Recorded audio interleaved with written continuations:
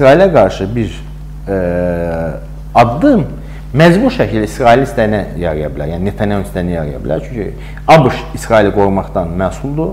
İsrailə qarşı bir hücum ABŞ məcbur müharibə çəkə bilər. İsrail çox istəyir ABŞ müharibə çəksin, alınmır. Yəni e, dəfələrlə təklif edir ABŞ-a, Britaniya koalisiya qurmaq, hücum eləmək alınmır. Amma İranın İsrailə daha açıq bir hücumu məcbur ABŞ Bu hücumdan Birləşmiş Ştatların xəbəri olubmu öncədən? Bəli, mən düşünürəm ki, olub. İran tərəfi necəsə xəbər verir. İndi bunu Oman üzərindən xəbər verir, Qatar üzərindən xəbər verir, BMT-dəki bir nümayəndə üzərindən bayaq e, bu arada İsrail Quterreşi person non grata elan. Bəli, bəli. Başladı. Və ola bilsin elə məhz BMT üzərindən olub deyə, çünki İsrailə sərf eləmir. Həm İsrail elən açıqlamalar, həm deyək ki, yəqin ki, necəsə olub. Çünki bu açıqlamalar simvolik mahiyyət daşıyır. İran əslində bununla vəziyyəti xilas edir. Çünki dediyim kimi, burada iki variant var. Ya hücum eləyəcək, hücum eləsə ABŞ və Britaniya məcbur qoyacaq. Amma İran ABŞ-la və Britaniya ilə Avropa ilə dostlaşmaq istəyir, münasibət bərpa eləmək istəyir. Yəni hücum eləsə, necə ABŞ-la münasibət bərpa ola bilər? Digər tərəfdən isə ABŞ-da prezident seçkilərinə birbaşa təsir göstərəcək bu. Baxın, Netanyahu atdığı addımlar Trumpın səsini artırır. Millətçi, e, sağçı, respublikaçı qüvvələr güclənir. Və əgər İran hücum olarsa İsrailə qarşı bu Respublikaçı partiyanın Trampın mövqeyini daha da gücləndirəcək. E, deyək ki, şahin qanadı gücləndirəcək. Və Tramp seçilə bilər bunun nəticəsində ki, 4 il sonra Tramp həmişə İsrailin yanında olacaq və İran üçün baş ağrısına çevriləcək. Ona görə İran məcburdur ki, həm balansı qorusun hücum eləməsi, Amma tamamilə cavab verməmək də çox böyük fəsadlara səbəb ola bilər İran açısından. Çünki İsmail Haniyə öldürüldü, sustular, generalları öldürüldü, sustular. Və s. Hə, indi Şeyx Nəsrullah öldürdü. Şeyx Nəsrullah Həsən Nəsrullah kiçik bir adam deyil. Məsələn 92-ci ildən bu təşkilat idarə edir. İstəsən ki, bu neçənci ildən bu təşkilatın içərisində 92-dən hələ bunun ən zirvəsindədir Hizbullahın. Belə şəxsin yetişdirilməsi o bir günün, bir ilin işi deyil. Adam 30 ildir vəzifədədir. Belə qruplaşmalar yaratmaq çox vaxt alır. Hizbullahın lider kadrosuna 17 nəfərdən cəmi bir saat, bir dənə Bədr e, qruplaşması rəhbər saatı. Hamısı öldürülüb. Yenə də son vaxtda yüksələn şəxslər də öldürülürlər. Həmasın bütün rəhbərliyi demək olar ki, e, məhv edilib bir iki briqada rəhbərindən başqa. İranın e, Qüds e, korpusunun, digər korpusların müavinləri və s. öldürülür. Ya bu insanlar yetişmə illər alır, eyni zamanda Hizbullah o rəhbərlik kadronu və yığmaq bu çox çətin məsələdir və Hizbullah kifayət qədər böyük bir qəzdir. Hizbullah rəhbərinin öldürülməsi sadə məsələ deyil, bir dövlət başçısıdır faktiki olaraq. Orada bir dövlət var. Onun seçiciləri var, əhalisi var, əlində olan ərazisi var, ordusu var, idarə etməsi var, kanalı var. 150 min ordusu var adamın, əlində 50 min raket var. İstəsən Həmasın 2500 raketi var, Həmas nə qədər raket hücumu və s. İsraillə davam edir. Hizbullahın 50 min raket olduğu güman olunur və getdikcə artır sayı mənzili artır və s. Yəni belə bir şəxs öldürülür. İranın bütün regional siyasətini demək olar çox böyük zərbə dəydi. Və İran indi də susa bu davam edə bilər. İran İsmail Haniyədə əslində cavab vermək istəyirdi. Cavab vermək istəyirdi. Pezeşkan və Cavad Zərif inandırdılar e, ali rəhbər ki, cavab verməyək. Çünki bu İsrailin əlinə yarayır. İsrail daha da cavab verəcək, eskalasiya artacaq. Bu bir. Digər tərəfdən ABŞ məcbur İsraili müdafiə edəcək və İranın qərblə danışmaq, sülh bağlamaq şansı sıfır edəcək. İndi Xamneyi açıqlama verib ki, bayaq ki, e, Orta Şərqdə gedən proseslərdə e, Birləşmiş Ştatlarla Avropa oradan çıxdıqdan sonra bu müharibələr, qarşıdurmalar dayana bilər, əks təqdirdə davam edəcək. Nədir məsələdir ki, indi bu ümumi açıqlamadır.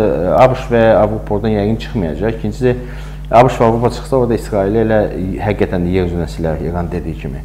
Yəni aydın məsələ ki, ABŞ Avropada İsraili İran qarşısında tək qoyub, yalnız qoyub buradan çıxmağı düşünmür.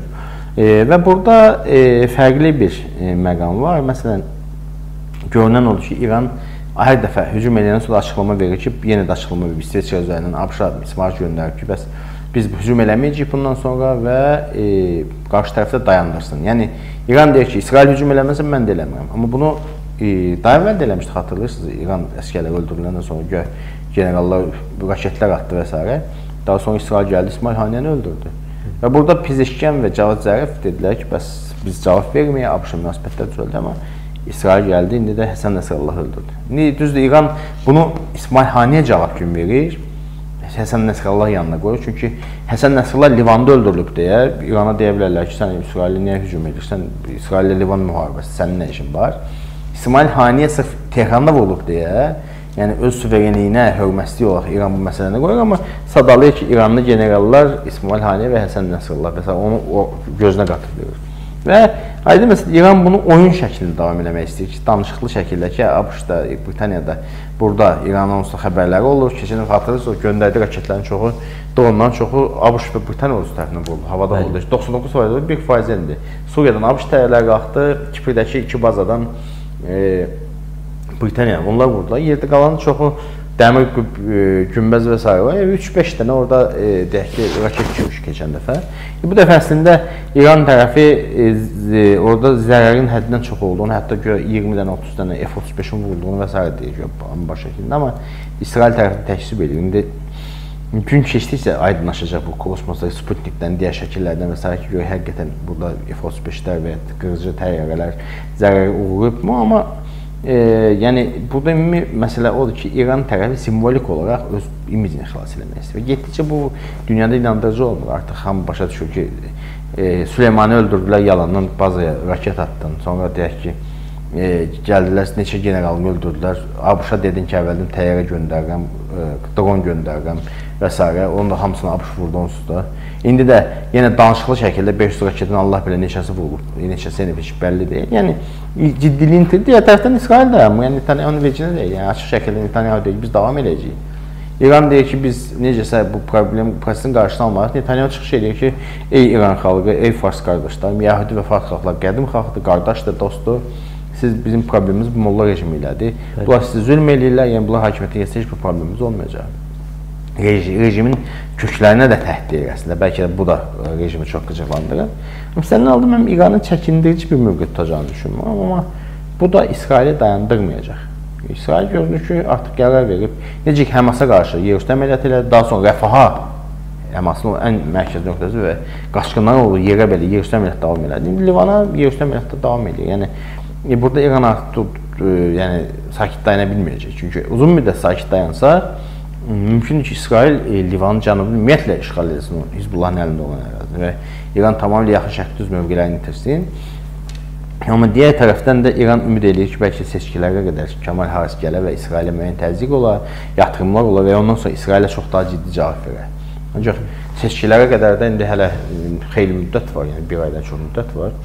İndi həmin vaxta qədər də İsrail əgər bütün o Hizbullahın əsas obyektlərini dağıtmasa, İranın digər deyək ki, obyektlərini vacib şəxslərini öldürməsə, e, demək olar ki, e, yəni İranın e, bəlkə də ABŞ seçkilərindən sonra cavab verməyə silahı, proksi, ordu qüvvəsi və yaxud silah olmasın, yəni şəxsi olmasın, çünki bütün komandanlıq sıradan çıxa bilər həmin ərəfəyə qədər. Bu belə bir təhlükə var. Ona görə İran çox böyük bir dilemma qarşısındadır.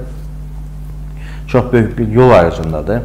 Ya hər şey bir dəfəlik üstünə xətt çəkməlidir və qərblə münasibətləri yandırmalıdır ki, bu da İranın tamamilə bir çox ağır cəzalandırmasına səbəb ola bilər və yaxud qərb bütün xəttləri kəsə bilər və Tramp hakimiyyət gətirə bilər orada.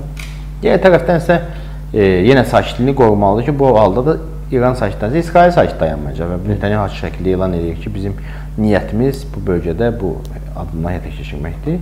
Ona görə də düşünürəm ki, burada e, İran necəsə öz simasını qoruyub İsrailə cavab vermir. Çünki yenə təhdid ediblər ki, bəs biz siz cavab versəz, İsrail yəni hücum etsə çox ağır cavab verəcəyik və s. və Allah ancaq biz davam eləmək istəmirik. Yəni burada ümid onadır ki, bəlkə ABŞ və Britaniya necəsə İsraili başa salsınlar, İsrailə bu təzyiqi davam etdirməsinlər. İsrail də çox da sakit dayanan oxşamır yəni. Hı -hı.